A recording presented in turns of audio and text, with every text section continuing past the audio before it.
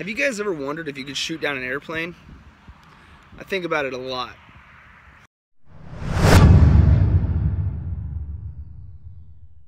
Okay, I don't think about it a lot in the aspect of like, I'm gonna go out and shoot down an airplane, but I've always worked on airplanes, and I've always just kind of wondered, what kind of damage can they take? And uh, there's lots of stories about airplanes and helicopters getting shot up, you know, overseas in Iraq and Afghanistan, they get shot up all the time. And a lot of them, well, most of them make it home with just battle damage, with bullet holes in them. I think A-10s can like fly without one wing. There's a story of an F-15 with one wing flying. So there's lots of redundant systems that keep airplanes in the air if they do get shot, but that's not what this video is about. Today it's about how much does it take to actually shoot through an airplane's body. So I actually have a piece of airplane body right here.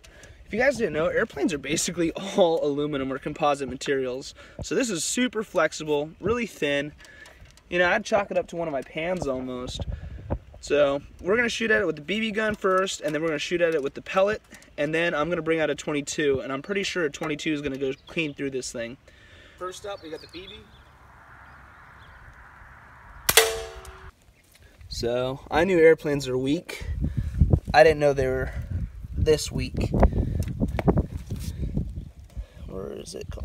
It split that skin pretty good with just a BB. Alright, I'm pretty sure the pellet's to go through, so let's give that a try. Alright, next up, the pellet. Yep, right there. You guys can see that little bulge right there. I actually hit a thicker part of it, so I'm to take one more shot with a pellet and just move it up to right about here. Alright, second shot with a pellet.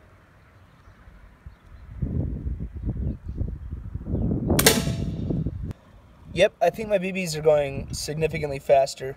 I hit just as thin as a part as that with the BB right there. So I actually probably should get a different pellet gun.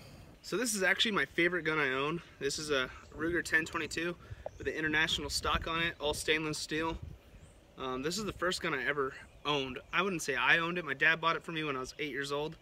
And we've kept this thing in good condition. We haven't even taken the sponge out of it yet. So the sling loop doesn't like scratch the wood. This thing, it's been kept in like pristine condition. It's my favorite gun ever, ever for multiple reasons. Mostly nostalgia. I'm actually gonna be shooting some CCI 22 long rifle quiet rounds. Uh, these things are going 710 feet per second. 1022 subsonic ammo. I don't even have ears on right now just because this thing is so quiet. It's like just a little louder than a pellet gun starting to rain. I don't want to be out here with this gun in the rain. So it did not actually penetrate. It hit right there. Very little of a dent. At the same time though, this is where I hit. I hit on like the strongest part of this little piece of body right here.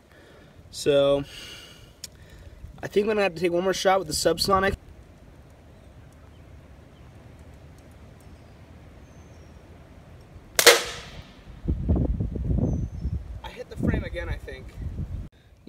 There's the shot right there. I hit the frame again, basically completely parallel with that other one.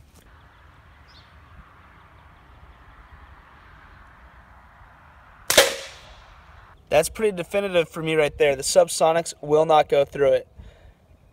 This should be the last shot. These are the 22 Golden Boys, and I have a feeling these are going to go through no problem. I'll be surprised if they don't.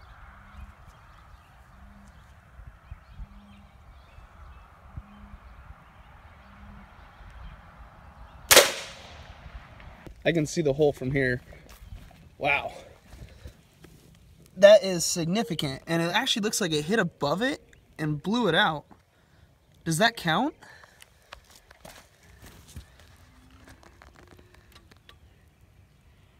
I don't know.